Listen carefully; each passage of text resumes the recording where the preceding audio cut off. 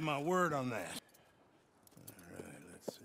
So, here are your papers. And on me, a new grooming brush and some treats. Appreciate it. Yeah. All right, you. You treat this fella well. I know he's gonna look after you just fine. Interesting choice.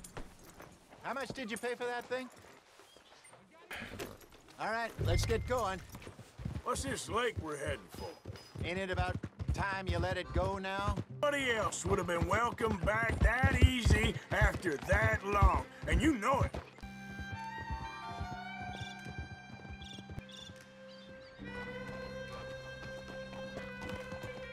Okay, I think we need to head right up here.